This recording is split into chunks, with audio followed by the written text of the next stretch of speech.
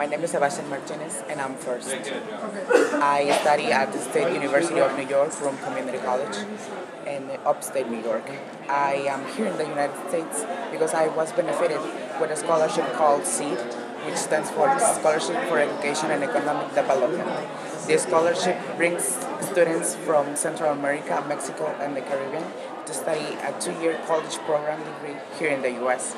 I am from Mexico, and when I was in Mexico, uh, many doors were closed for me, and that made me think that I was not smart enough for the universities, and that my family didn't have the enough economic resources to send me to a private university, so I had to apply for a public university, and the closed were door were clo- the doors were closed for me, and that made me feel so bad and sad.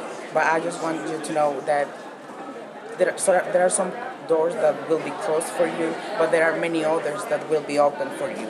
And I don't want everybody in my community, especially or every everywhere else, to think that they are not smart enough or that they are less than a person from another person, because you can do whatever you committed to do. And a proof of that it's me being here today mm-hmm. and this Clinton Global Initiative conference that I never expected to be in, but I am here and it's a reality.